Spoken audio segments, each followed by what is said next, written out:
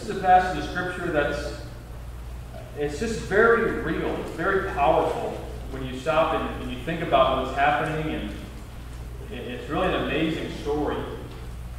Mark chapter number five, and we've come to learn it as the maniac of Gadara. Uh, maybe you've heard it preached before. Maybe you know you yourself have taught it, maybe in a Sunday school or something like that, or or just done your own study on it. But it's a it's a passage of scripture that's that's very eye-opening. It's, it's, it's sad, but it's also very, very amazing uh, what happens at the end of it. So we're just going to read one verse for right now. We'll kind of go through, you know, off the passage as we, as we go through the sermon. But Mark chapter 5, let's read verse 5 for right now. Actually, we'll read 5 and 6. It says, And always, night and day, he was in the mountains and the tombs, crying and cutting himself with stones. But when he saw Jesus afar off, he ran and worshipped him. I like to preach a message entitled this morning, When All Hope is Gone, Help is on the Way. Let's pray. Heavenly Father, thank you so much for this day. Lord, I thank you for your love to us. I thank you for this church and God, just the, uh, the encouragement that it is to me and my family. And, and Lord, I thank you for their faithful support. Uh, Lord, not only financially, but I know through prayer and Lord, just uh, uh concern and, and just uh, Lord, just through a, a genuine uh, love, Lord, and I thank you for that. I pray, God, as we go throughout this sermon, that you be honored and glorified. God, I pray you help me. I pray you remove me uh, from this from this sermon, Lord. I pray that your word uh, would just challenge hearts, Lord, perhaps convict or encourage. And Lord, we got the praise and glory for it. In Christ's name we pray. Amen. My mother, when, when she was growing up, uh, she grew up in a home that if I could put it put it kindly, it, was just very unrestful. There just wasn't a lot of peace in her home. Uh, she grew up really not too far from here in Sandusky, Ohio, and uh, just really from a very, very young age, her home just kind of became that, that place of just unrest. You want your home to, to kind of be that place where after work, you know, you shut the world out. It's just kind of that ah, that moment, right?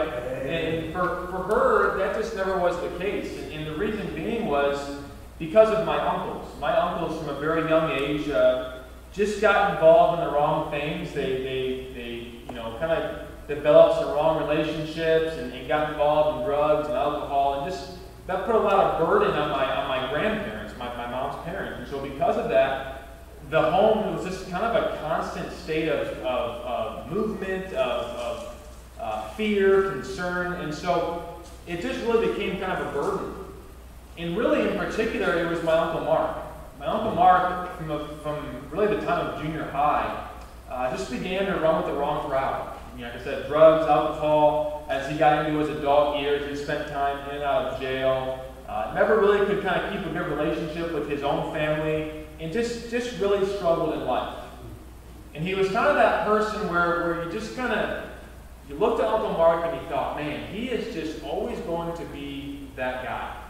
You know, it's, it's one step forward, two steps back. It's, you know, wrong place at the wrong time. That, that was just Uncle Mark. And, and really, as I began to kind of grow into a, you know, a young boy, I, I just kind of assumed that's how Uncle Mark was going to be for the rest of my life and certainly the rest of his life.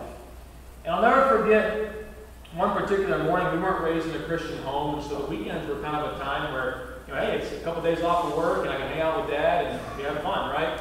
So I'll never forget it was it was a Saturday morning and my my mom or my my uh, my the way my house was set up is that you would come down the, the steps of our home. And as soon as you would come out of the kind of the stairway there, you would make a right hand turn. And the moment you make that right hand turn, you're immediately into our living room. Well, then you kind of walk through a doorway, kind of like that, and you walk into our dining room. And there'd be another doorway, much like that, and you walk into our kitchen. So kind of just, you know, three consecutive rooms. I'll never forget it was Saturday morning, right? Saturday morning cartoons for a nine-year-old boy. That's that's a great day. So I, I was coming down to get my cereal there, and as I was walking through the, the dining room, I noticed there was a man with his head down at my, at my dining room table, just kind of buried in his arm like this. I thought, man, that's kind of strange. You know, he wasn't there last night. When I went to bed, what's he doing at my table right now, right? You know, who is he? So it's, you know, as a nine-year-old boy, those thoughts kind of go through your head, and you think, well, mom and dad have to take care of. I'm going to get my cereal. So I walked in and I got my cereal, I started pouring my Lucky Charms and, and pouring my milk there. And as I began to eat my cereal, probably that, maybe a minute or two had passed. And my dad had walked up from the basement and walked into the dining room. And as I was eating my cereal, all of a sudden I just heard this loud scream coming from the dining room. Man, what in the world is that? So I, you know, curiosity, right? I walked in the dining room and that man who had had his head down was now was now looking up at the sky. He had his eyes closed. He was wincing in pain, kind of gritting his teeth, and, and he had his arm extended like this on the table. And I noticed as I was kind of taking all this in that his arm was just covered in blood, dried blood. And there was a there was a bloody wash rag on the other side of his of his arm there, and I mean this is kind of a, a weird scene. What is what is going on here? Well, as I was taking all this in, it dawned on me, wait a minute, that's that's Uncle Mark. And to make a long story short, what happened was is the night before Uncle Mark had gone out and, and began to drink and became intoxicated and, and somehow, some way, he got another person at the bar very upset with him. And they, they started to verbally fight, and eventually they started to physically fight out in the parking lot. And while they were fighting, this man must have evidently uh, pulled a knife on Uncle Mark and went to, went to go stab him. Well, probably just out of reaction, or maybe just trying to, you know, block the entrance of that knife, Uncle Mark somehow, some way, blocked that knife, but he blocked it with the top of his hand. And so that, that blood-drilling scream that I had heard was my, my dad was spraying an antibacterial spray in about a dime-sized hole in the top of Uncle Mark's hand from that knife. And as a nine-year-old boy, as, I, as I'm taking all this in, you know, it's Saturday morning, I was going to watch cartoons, right? I, I mean, what's going on here? I just kind of looked at Uncle Mark and just thought, man, this guy is just hopeless. He is just he's just bad at life. He's just kind of broken. He's, he's going nowhere fast. And so as I walked up, you know, back up to bed and turned on the TV, I, I just, I kind of, I guess, made the, the decision that day in my head that Uncle Mark is always going to be that guy. He's always going to be that guy that just struggles with life, struggles to ever get ahead, and probably is just going to probably stay that way until He's no longer alive. Just kind of broken, kind of, kind of messed up, if you will. And I believe in our passage of Scripture today, we find a man kind of like that. We find a man, for all intents and purposes, is pretty broken. He's, he's struggling with life. He's struggling uh, to really even have a relationship with society. He's, he's pretty hopeless. You say, well, what makes you say that, Greg? Look at verse number two. Number one, he's hopeless because of his isolation. Look at verse number 2 there. It says, When he was come out of the ship, immediately there met him out of the tombs a man with an unclean spirit. I want you to notice the word there, immediately. In other words, the Bible is telling us that this man, as soon as Jesus, and you kind of take your, your mind there, kind of paint a picture, as soon as Jesus gets off of that boat, maybe ties it off to a stump or, or whatever he does, he steps on the dry ground, and immediately this guy meets him. In other words, there's, there's no waiting around. He's not, you know, peeking through a bush or, or looking behind a tree to see who it is. He's not asking one that anyone that's around him. He's, he's immediately birth to Jesus Christ. No questions asked. He needs to get to this guy. You say, well, what, what would cause him to do that? What, why, would he, why would he not ask questions? Well, verse number 3 gets the answer. The Bible tells us that this man had his dwelling among the tombs, and no man could bind him, no, not with chains. So we find out that this man is, is not just passing through the cemetery one day on a, on a weekday stroll, he's living there. The Bible says he's dwelling there. That was his place of residence. That was the place he had come to know as home. And, and, and, and that was the place where he was going to uh, essentially live out the rest of his life You say, what in the world? What would, what would cause a guy to live, you know, in a cemetery? I know things get bad, but I don't know who lives at, you know, 324 Main Street, Euclid Cemetery. Just, people don't do that. Yeah. Well, the Bible tells us, look at verse number 4. It says that because he'd often been bound with fetters and chains, and the chains had been plucked asunder by him, and the fetters broken in pieces, neither could any man tame him. So we're given this idea that that they tried to bind this guy up. They tried to, you know, perhaps maybe throw him in jail or get him, you know, in a, in a constrained situation. Yeah. And he'd break out of these chains. Break them asunder, break them into pieces, the Bible says. And you kind of get the sense that society just kind of said, listen, we are done with this crazy man.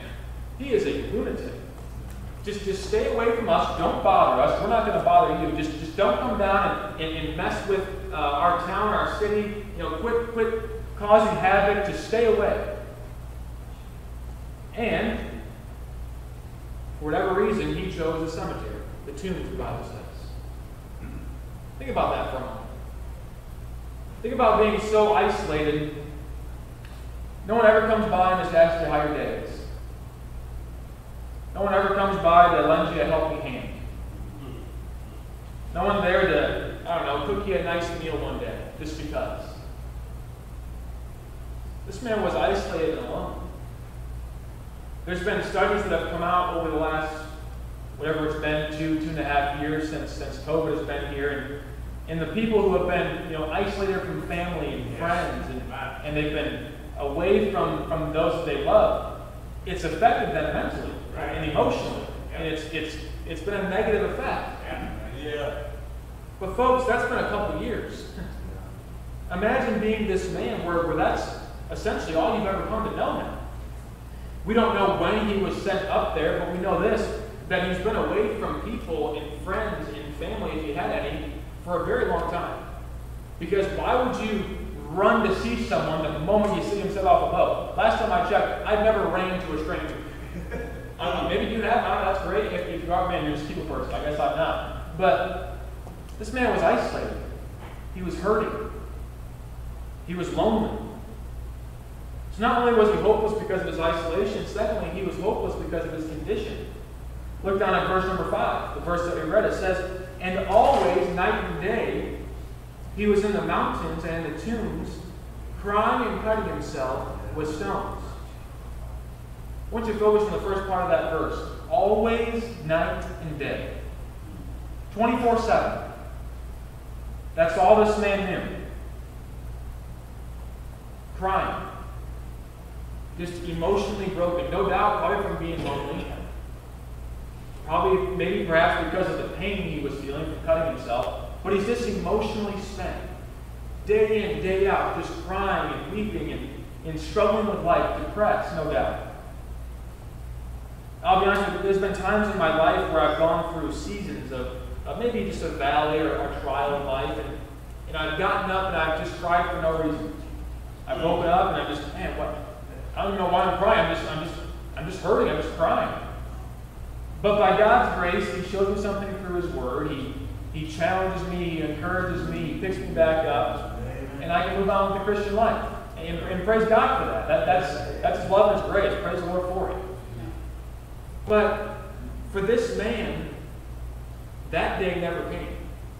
It was always night and day, a continuous cycle of brokenness.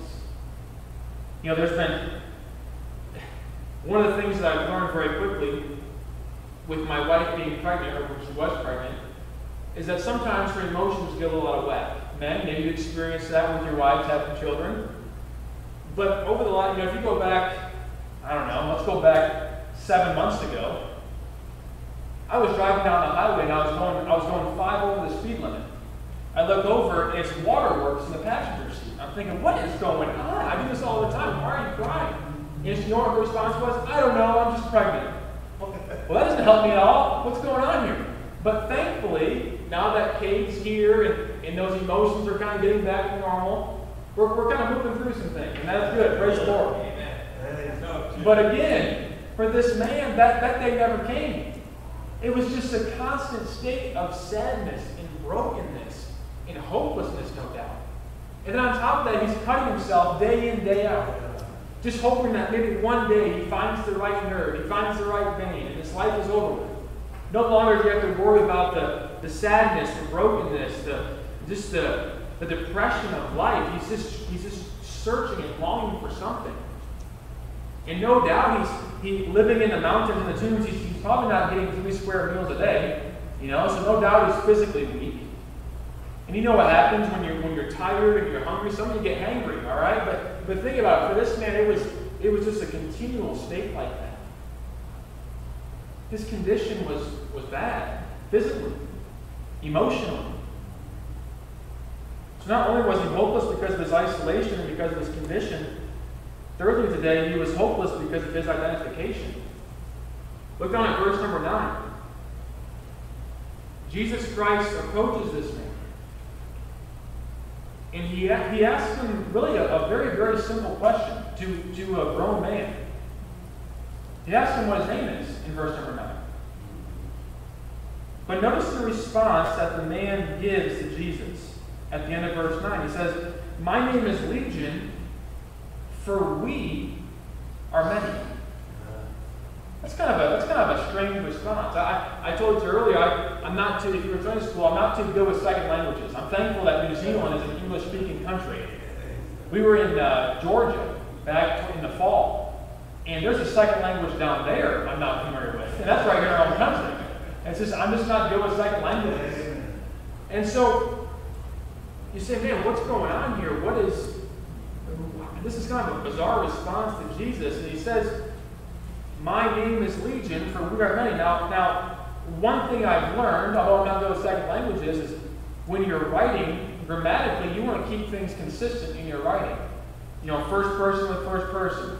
You know, third person with third person. Singular pronouns with, know, you want to keep all that stuff in the right order. So, in this passage, or this verse, he starts off with my, or singular. My name is Legion, then it says, for we are many. It switches to plural. So is this a mistake in the Bible? Well, well no. The Bible is showing us something very powerful here.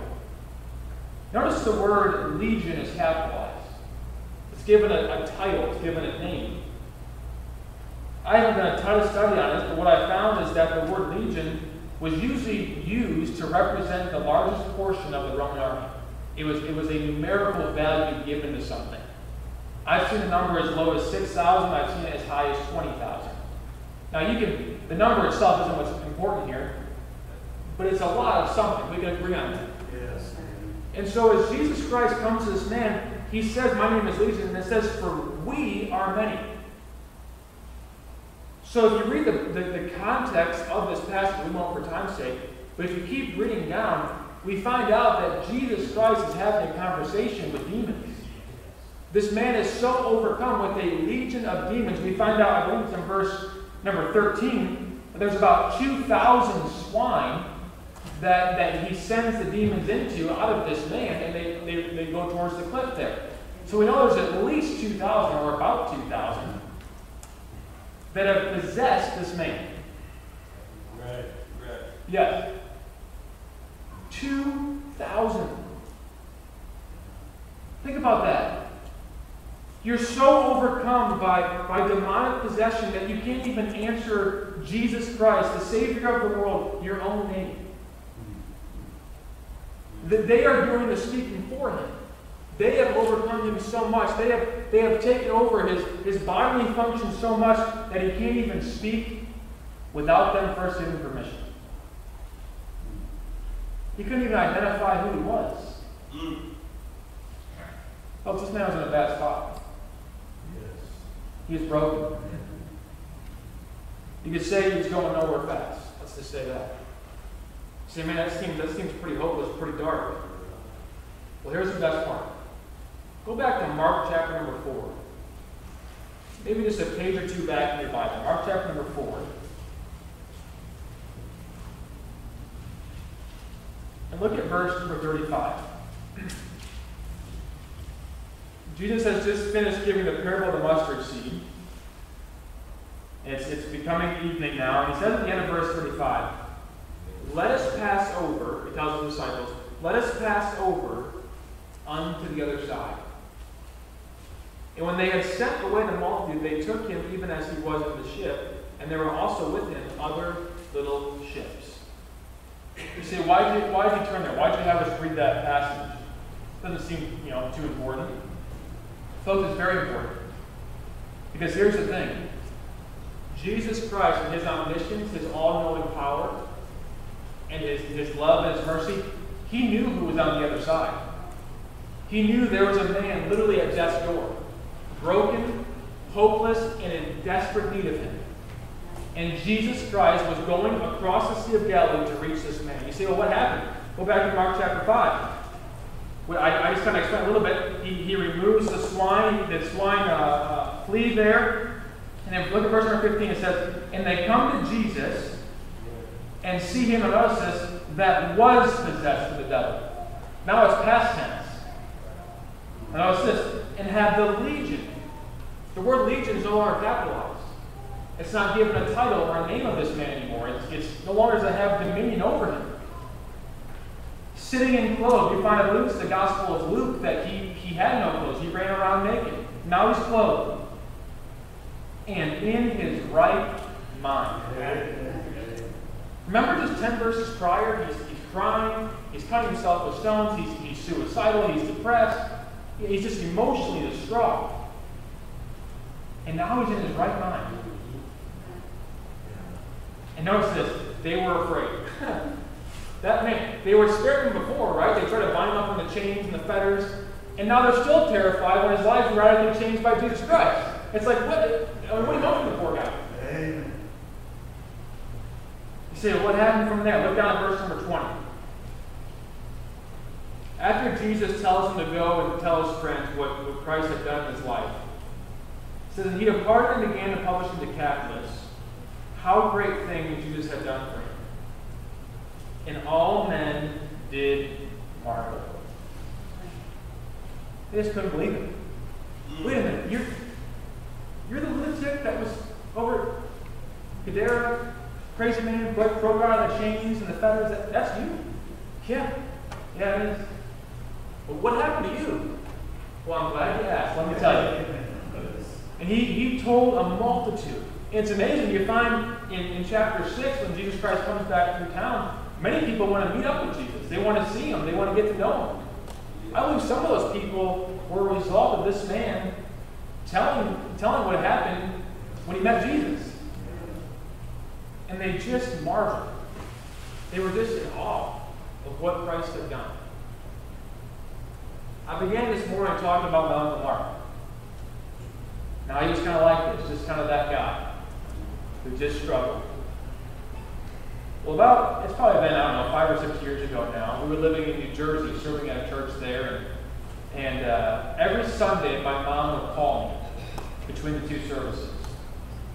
And she called me one particular Sunday, and uh, I picked up the phone, and I, was, like any normal Sunday, I said hello, and she said, Gregory? And, when she said that, I thought, man, my full name, this is not good, right? I am in trouble here. So I said, you know, when you say that? So I just said, Mom? you know, on the phone. And, and the moment that I said mom, she just began to cry. And just really, really weep. It, it seemed like it lasted forever. It was probably, you know, 30 seconds to a minute. But after she had, you know, kind of contained herself and kind of came just calm, I just simply asked her, I said, Mom, what, what's going on? And all she could say was, it's your Uncle Mark. That's all she could tell me. And so I asked her, you know, what happened? Honestly, I was thinking to myself, you know, is he in jail? You know, is he, is he hurt? Is he even alive? You know, you just, you just didn't know with him. And she began to explain to me how about a month prior to that phone call, Uncle Mark had come to church. That was, that was kind of odd. He's never stepped foot in church before. This is very strange. My mom explained to me how he, he came to church, and, and as soon as the service ended, he was gone out the back door. Didn't even say hi to my mom and dad.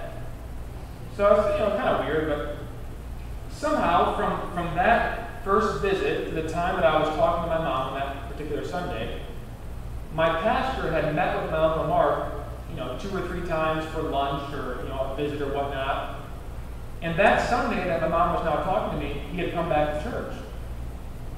But this time it was really different. He came to church and, and he, he sat through the service and he, he, he waited around for everybody to leave this time. In fact, my mom told me that they actually left before Uncle Mark did. So just, man, what's going on? So as she began to explain it, she said, after everyone left, it was just my Uncle Mark and my pastor. And for about 30 minutes, my, my, my pastor relayed to my mom, that my Uncle Mark just asked question after question after question about who knows what, just, just everything. And after about 30 minutes of asking questions, just kind of getting things understood, my Uncle Mark got saved. And when she told me that, I'll be honest with you, I kind of just thought to myself, like, wait a minute, my Uncle Mark, like your brother, we're talking about the same person, is this real? Is this even happening? Just, Uncle Mark getting saved just was never, ever on my plane of thought. It's just, it's just mind boggling. And so we talked a little bit, I hung up the phone, and, and after I hung up the phone, I just kind of stood there in my apartment. And just kind of like verse number 20, I just, I just kind of marveled at the goodness of God. And how there's no soul that's too far gone. There's no life that can't be reached by the power of God. There's no person that's, that's too broken for Jesus. Folks, I'm very tired. There's people just like this all around us. They're right here in Euclid. They're right down the street in Cleveland. Uh, I stopped at a gas station this morning. I saw them on the way in. I, I saw them broken, hurting from a night of regret the night previous. You know, it's no doubt that you folks are missions minded. You've been faithful supporting us. I, I, see the prayer letters. I mean, I, I talked with your, your pastor and his wife. I just, no doubt you folks have a heart for missions. And praise God for that. It, it's incredible. Don't, don't ever change that. Keep, you know, keep increasing your faith. Keep giving to missions. Keep doing those things. God will bless that. But if all we ever do is just, you know, kind of give, give to a missionary and say, all right, missionary, you know, that's your job now. We're, we're cheering you on. Go across the sea. Woohoo! But yet we never go across the street. I think we missed something. Because there's people there too. You know that Euclid, Ohio is part of the world that God's commanded us to go into? Think about that for a moment. People right here that I'll never ever meet, I'll never get to see, I'll never have a relationship with, but, but God has placed you in their lives to, to potentially see them come to know Christ. May God help us to be diligent about getting out the message of hope that's found in this book to a lost and a dying and a broken world. You say, is Uncle Mark, you know, as man, is, he, is everything going great? I'm sure he's just on fire for the Lord. No, he struggles, just like you and I. But you know, something tells me that this, this man, our passage today, probably lived with, with the scars of his life before Christ the rest of his life. He always, he probably always had those reminders. He always had those, those struggles. Listen, you don't have to be perfect for Jesus Christ. Just tell someone about what he did for them.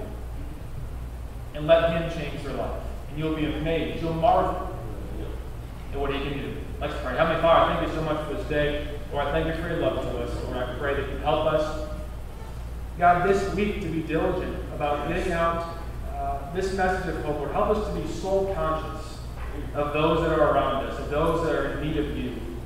And Lord, I pray that you would just uh, bless this church. Continue, Lord, to uh, encourage them in you. Continue to, uh, Lord, strengthen them, strengthen their pastor and his wife. And God, we got to praise and glory for it's in Christ's name we pray.